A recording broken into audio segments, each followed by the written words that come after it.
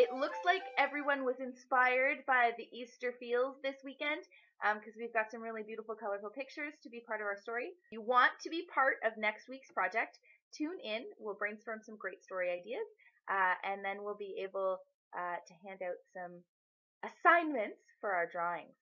Um, so without further ado, I would like to read to you the Zoo Poo Shoe story. Poop Man's best friend and roommate was Polly the unicorn. Polly was a very smart unicorn and knew how to make people out of her sparkly poop. That's how she made Poop Man, but she made him big enough to play dollies, not basketballs. Poop Man was sad because he wasn't tall enough to be on the winter Pepper Zoo basketball team. The bigger animals, they were afraid they'd step in unicorn poop and ruin their shoes. Unicorns only poop once a year, so it would take our friend Polly much too long to save enough poop to make to make Poop Man big in time for the championship. Polly decided she'd use her unicorn powers to grow Poop Man in a faster way. Walter the rabbit, Kyle the platypus, and Ethel the pterodactyl were all sitting under the big tree when Polly arrived. I need to know your favorite food, said Polly to the three animals. Carrots!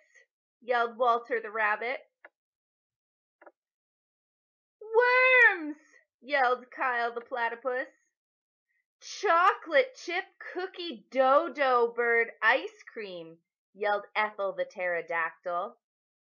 With a wave of her sparkling unicorn horn, their favorite foods, yes, even the chocolate chip cookie dough bird, dodo bird ice cream, appeared in piles in front of them.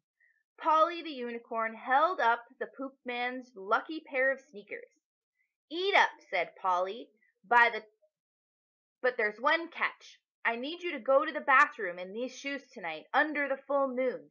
When the poop man puts on his shoes in the morning, this will make him grow big enough to play the championship basketball game. The rabbit, the platypus, and the pterodactyl ate all their food and fell asleep under the tree.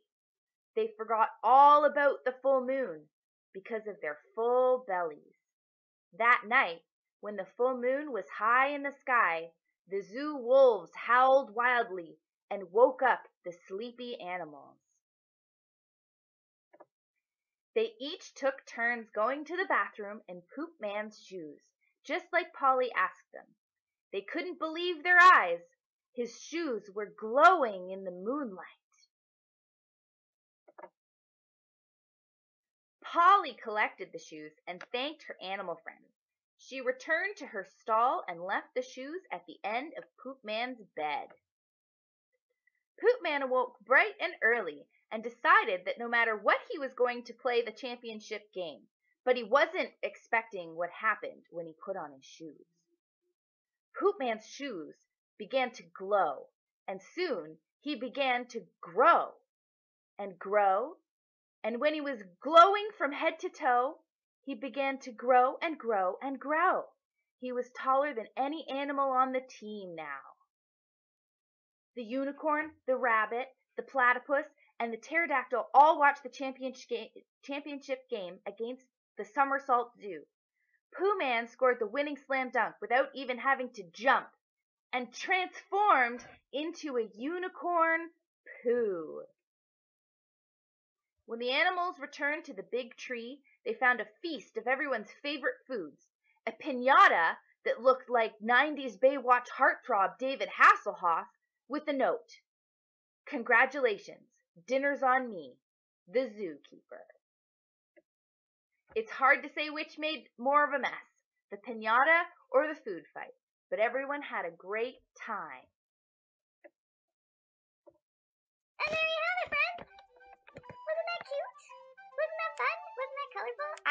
Great time reading that story.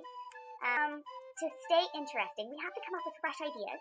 And as I mentioned last week, um, our first story was all about magic. Uh, so we weren't going to do anything about magic. We did a little bit of unicorn magic in this one, but that's understandable. Um, last week we did one about basketball and unicorns and poop. So we're not going to do a story about magic or unicorns or poop this week. Let's base this story off of a thing. So let's pick one object, one non-magical, very boring, very normal, very average thing. Rubik's Cube. Okay, that sounds fun. Okay, ooh, and scientist, hot. Okay, so Ralph the Rat is a scientist. Like, Ariel the mermaid had known Ralph the Rat, she would have been able to be like, hey, Ralph the Rat, what is this dingle hopper uh, that the seagull told me I found? And then he'd be able to tell her what it really is, right? Um, we need a name for our raccoon. What's the name of this raccoon? Stewie the raccoon. What is that, and why are you touching that? I don't, that, you can't touch that. That's dangerous. Very concerned. That's not safe. Don't do that. That's not safe. Not safe. Be like, oh, that stinks. It stinks. And then imagine humans trying to do Rubik's Cube with their toes. Okay? Even famous in the human world. Because humans are weird like that and they make videos of animals doing strange things. So thank you all so much. Thank you all so much. This is so great. Thanks for tuning in this week. Please join us next week for the Raccoon Rubik's Cube Caper. Tune in at LVW Creative Barracks at 3 p.m. on Tuesday afternoons to be part of the Brainstorm Storybook session, or check out our new video every Saturday afternoon.